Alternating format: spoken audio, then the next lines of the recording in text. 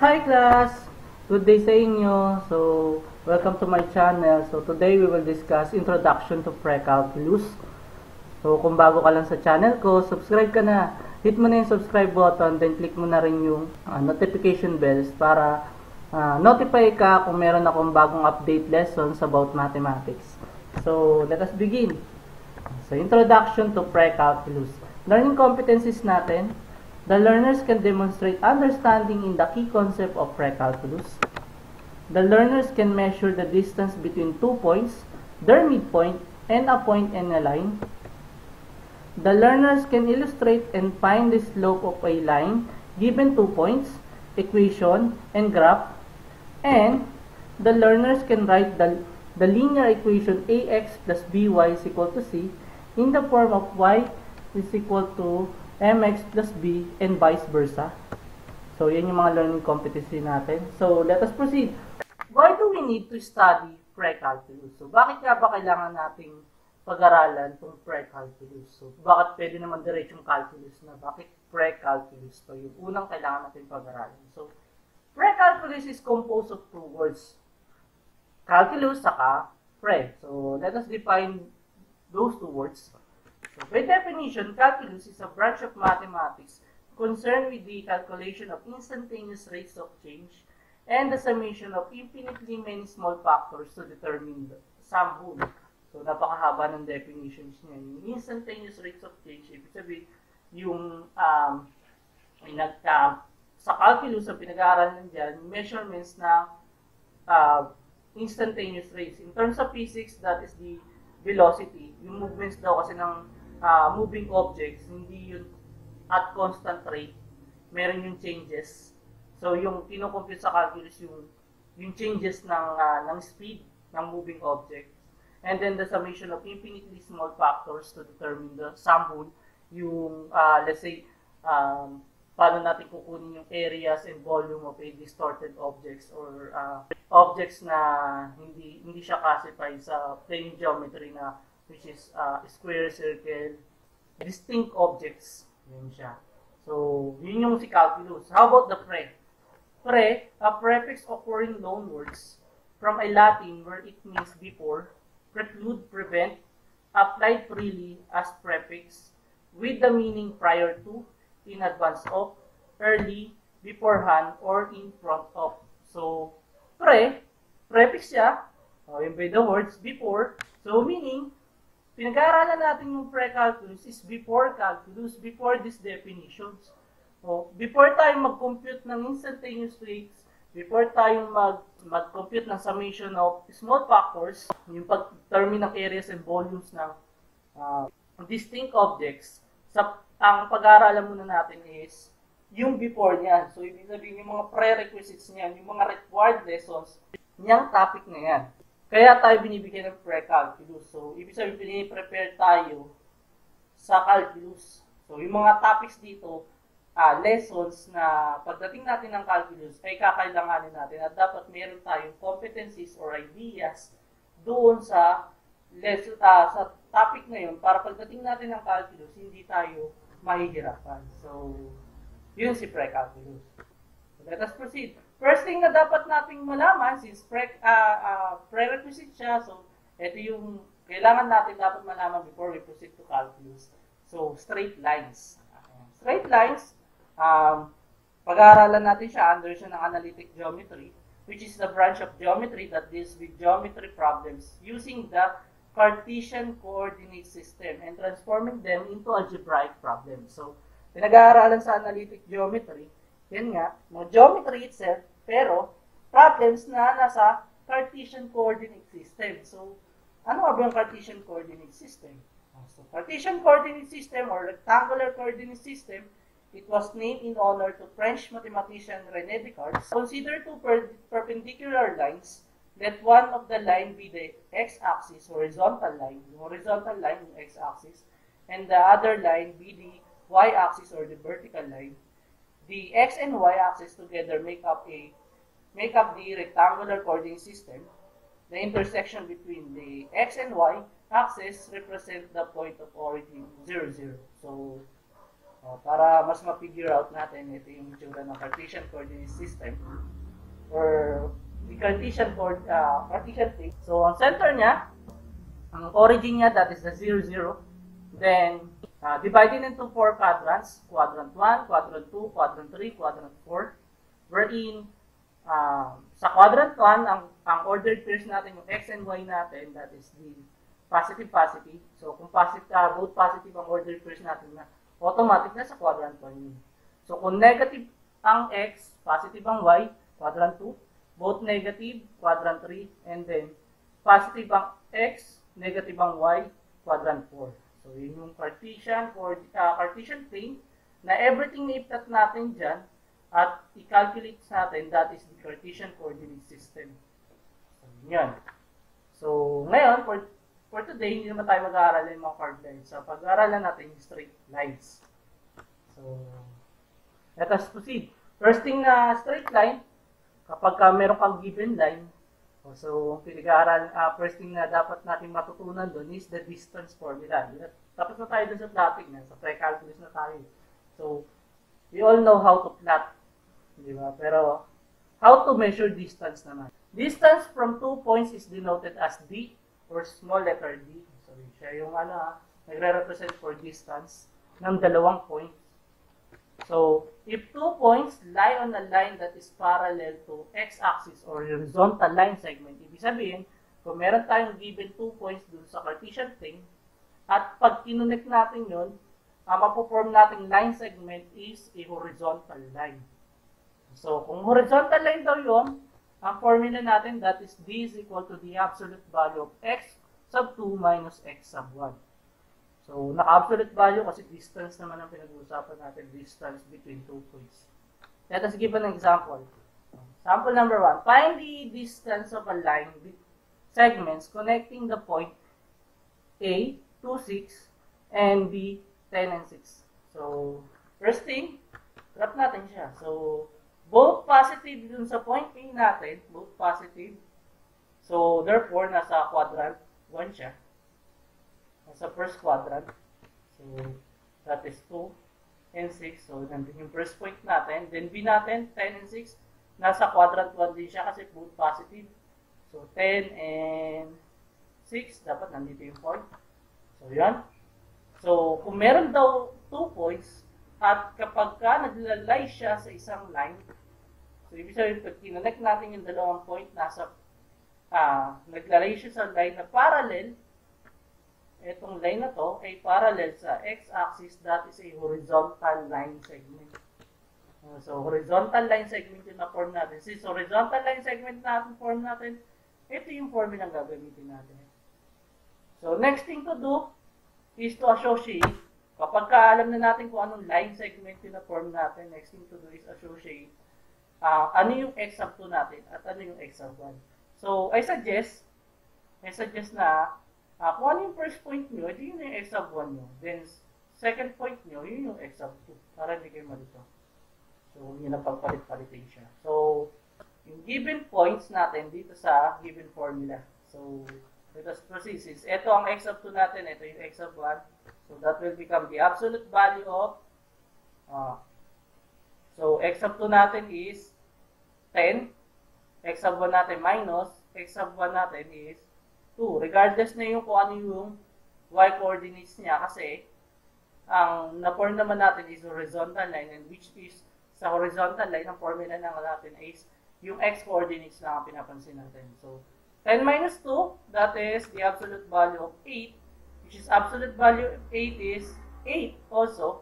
So, since final answer na yun, nagay tayo ng words na units since this time sa pinag-uusapan natin. So, final answer natin is d is equal to 8 units for point A and B.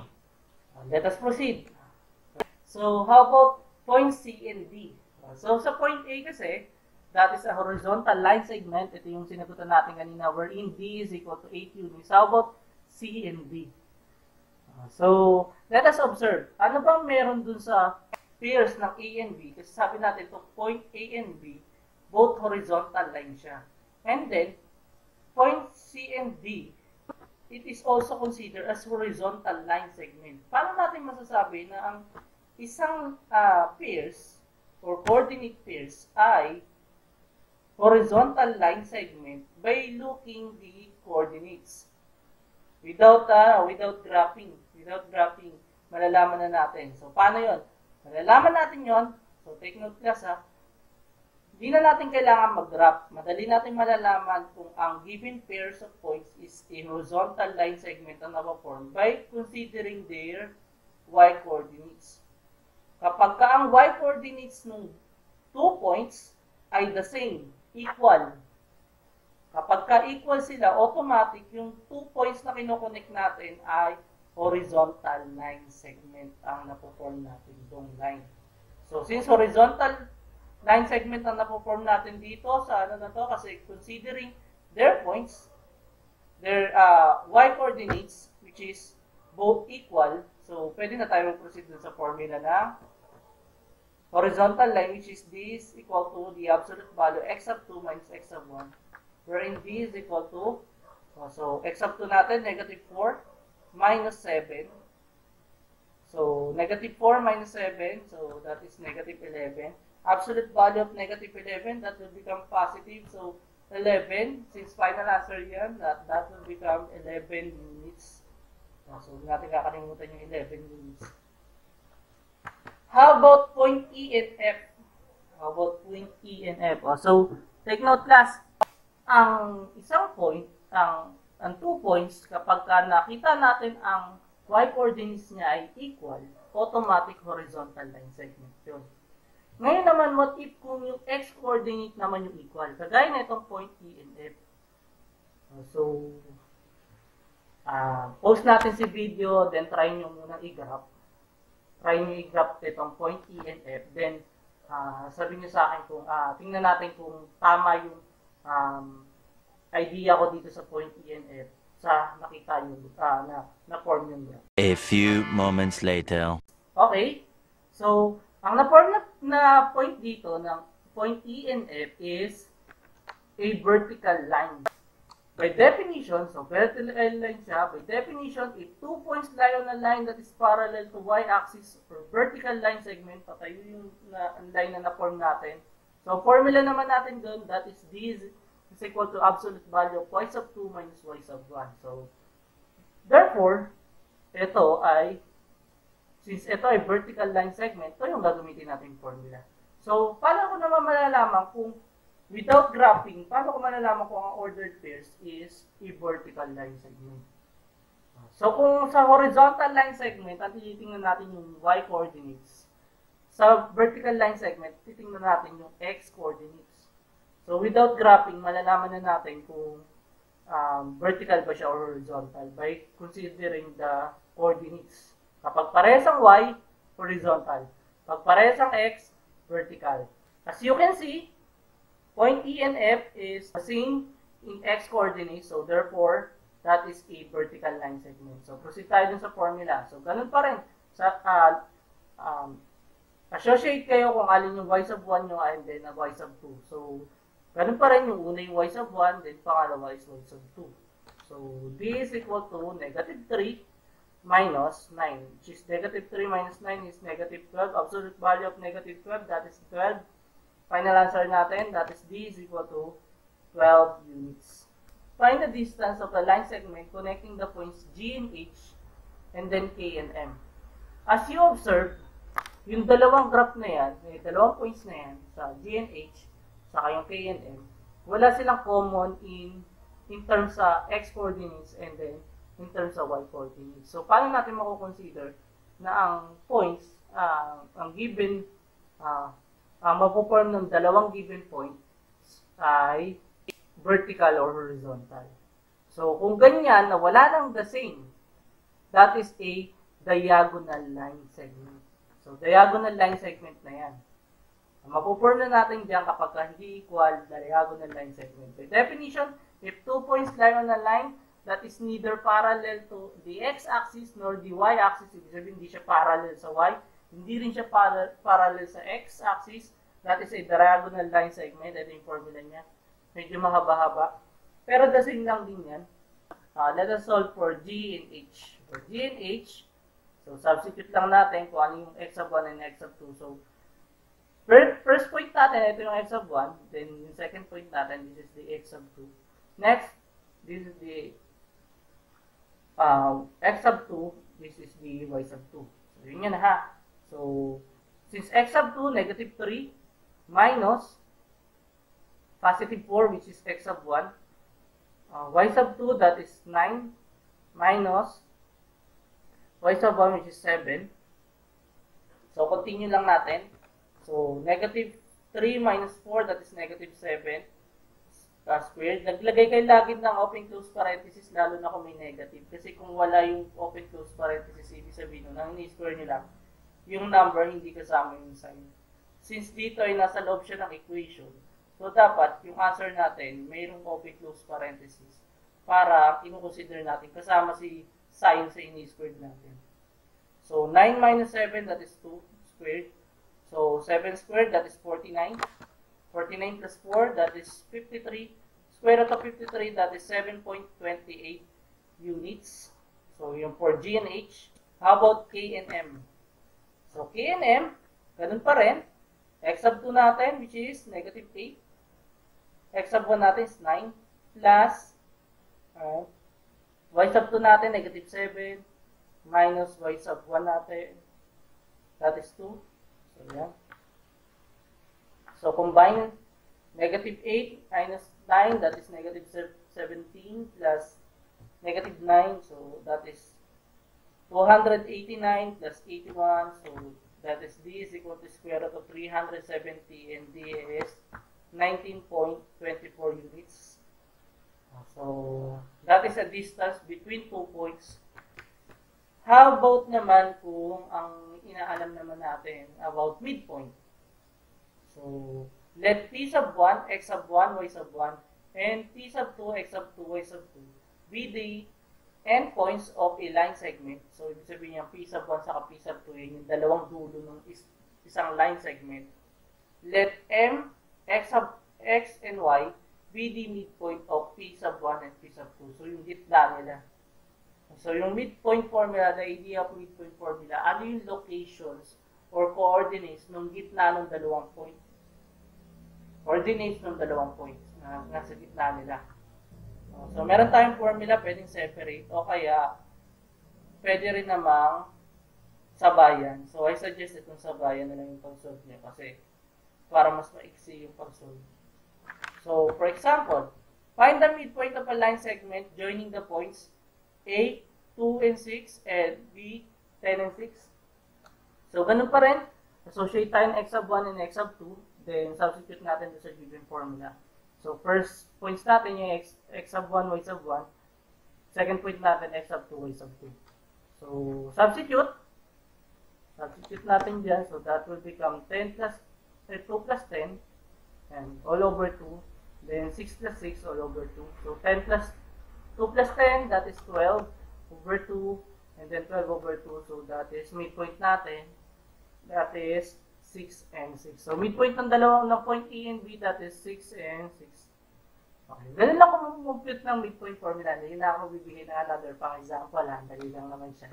So, how about slope of a line? It is a number that measures its steepness and it's usually denoted by the letter uh, letter M, so small letter M. Uh, so it is also known as gradient it is the change in y for a unit change in x along the line. So, ang slope daw, a number. So, ibig sabihin yung makukompute natin, number siya. So, number yung pagka, once na in-apply natin itong computation na ito, yung number na makukuha natin doon, ang represent niya yung stiffness or yung tarek. So, kung narinig yung word na tarek, gano'n ba siya ka-slant yung uh, isang, uh, yung uh, isang line, gaano ba siya ka-slant, or ano ba yung stiffness ng line na yun. So, ito yung formula niya, rise over run, or y sub 2 minus y sub 1, or x sub 2 minus x sub 1. Wherein, ang slope ay nakahati sa apat. Pwede siyang, kapag ka nag-compute tayo, pwede tayo mabigyan ng number na positive.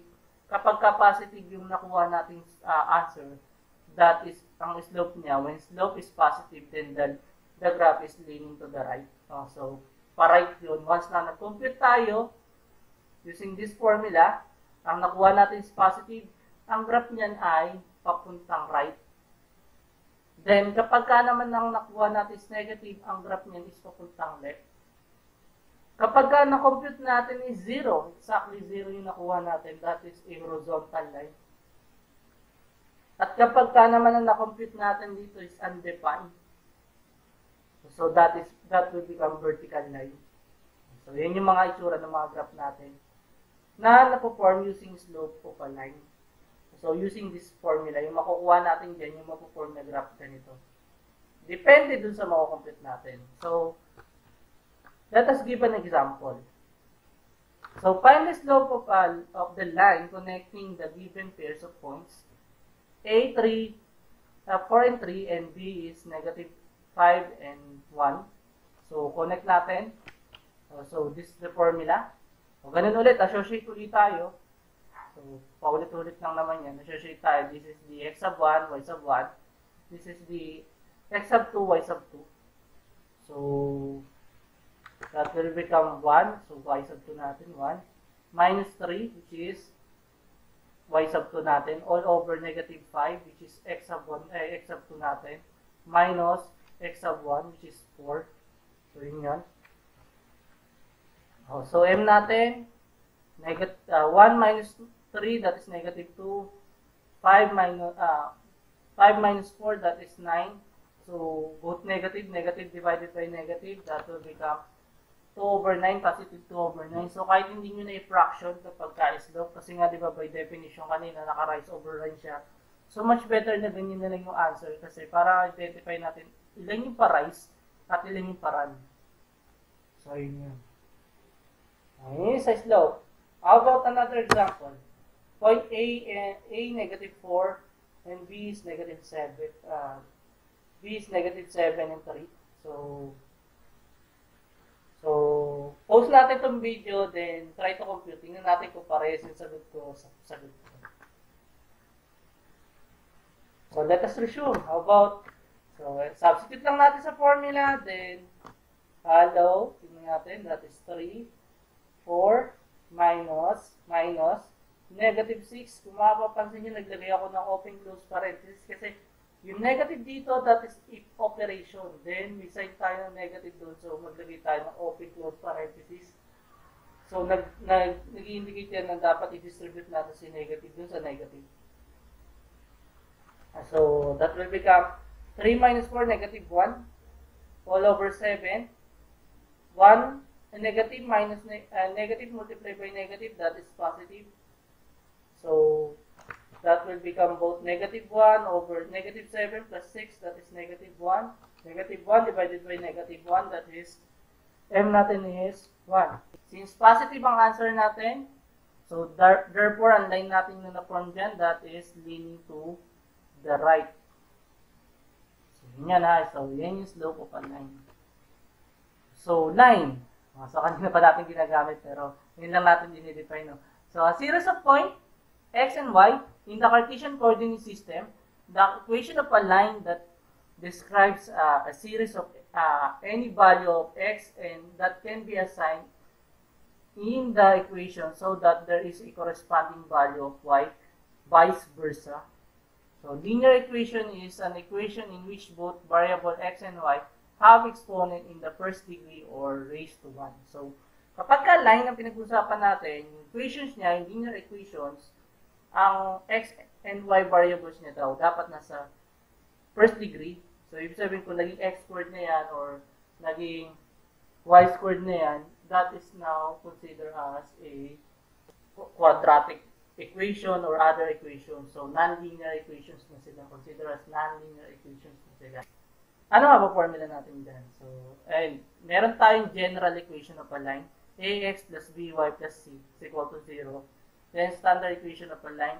ax plus by is equal to c. Where a, b, and c are all integers. And a, b, a and b cannot be both equal to 0. So, ibig sabihin, pwedeng, uh, numbers yung a, b, and c na yan. So, constant siya. Coefficient siya. Pwedeng, yung A and B co- coefficient ng variable. So, pwede siyang, pwede maging 0 yung A, o kaya pwede maging 0 yung B, pero cannot be both equal to 0. So, pwedeng A lang, so, kunyari, A lang ang 0 dito, so that will become by plus C is equal to 0. That is also considered as linear equation. And then, kung B lang, so kung B lang ang 0 dito, ang matitira dyan, AX plus C is equal to 0. That is also considered as linear equation. Pero yung both silang 0, hindi yun mako-consider as linear equation. So, let us proceed. So, meron tayong up, ah, tatlong formulas na pwedeng gamitan ng lines. So, point slope form, sabihin given a point and given a slope, ito yung point slope natin, ito yung equations natin. So, pwede natin post yung ah, video, then copy natin yung mga formula. Ah, so, pagka slope intercept form, y is equal to mx plus b, where m is the slope of the line. Discuss nga natin yan kanina. So, b is the y-intercept. Oh, so, yung pinag-interceptan ng point. Sa y-intercept, ibig sabihin sa at vertical line, so sa y sa y-axis, kung saan eksaktong dumaan yung line, yun yung y-intercept, which is represented as b. So, distance between a point and a line, the shortest distance between the, uh, the line and a point is the perpendicular line connecting the point and the given line. So, ibig sabihin, kung may given kang line, tapos merong point outside the line, kung gusto natin alamin yung distance between the point and the line, no, yung given point na outside the line na yun, yung pinakamalapit na distance doon, this is the formula. Take note, dapat yung given equations natin, yung given equation of the line is dapat nasa general form. Wherein ax plus by plus c is equal to 0, dapat nasa ganyang form. So, kapag ka nasa standard form pa siya, ako convert natin siya sa general form. So, ito yung formula. Tingnan natin, bigay tayo ng given uh, examples about isang point na yan.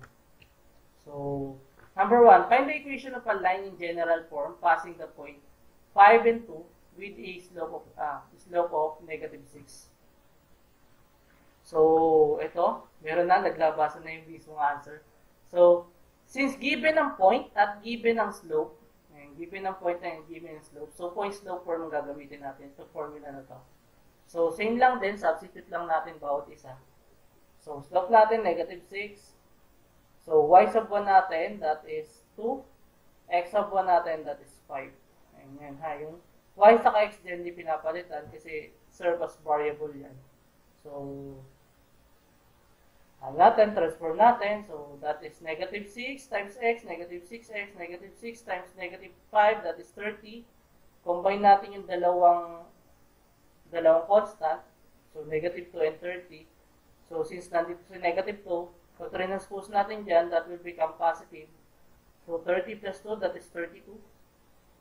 So, ang tanong dito is general form. Line, an equation of the line in general form. So, since itong answer na to ay hindi pa siya nasa general form, which is ang general form is ax plus by, plus is equal to 0. So, kailangan natin i-convert pa siya into general form. So, tatranspose natin lahat to dito sa right side. Or dito sa left side. So, from negative 6, magiging positive 6 plus y. From uh, positive 32, that will become negative minus 32 is equal to 0. So, this is our final answer. 6x plus y minus 32 is equal to 0. So, yun yung problem number 1. How about problem number 2? Find the equation of a line in standard form with slope of 5 and y-intercept of 3. So, meron tayong given ng slope, given ng y-intercept. So, huwag na tayo lumayo. So, that will become slope-intercept form. So, ang slope-intercept form, y is equal to mx plus b. So, meron na tayong slope na given. Meron na rin tayong y-intercept. So, that will become y is equal to 5x plus 3. Yun na siya. Ganun siya kadali. Pero ang tanong, find the equation of a line in the standard form. So, nasa standard form ba siya? Kung papansin natin siya, wala siya sa standard form. So, convert muna natin siya sa standard form, which is ax plus by is equal to c. So, transpose natin to. Ang titira lang dapat dito is 3. So, that will become negative 5x plus y is equal to 3. Yung ibang ah, book, sinasabi kailangan naka-positive pa si ax. So, ang gagawin nyo lang naman din is multiply both sides by ah, negative. Pero kahit hindi naman, okay lang, pares lang rin naman yung solution doon. Yung iba, mas, mas gusto lang, mas prepared, yung naka, naka-positive si 5x, okay lang naman yun. So, kung gagawin mo positive yan, that, kailangan mag-multiply ka ng negative, both sides. Yun. How about problem number 3? Find the distance between the point 10 and 14 and, the- and the line 8x minus 6y plus 16 is equal to 0.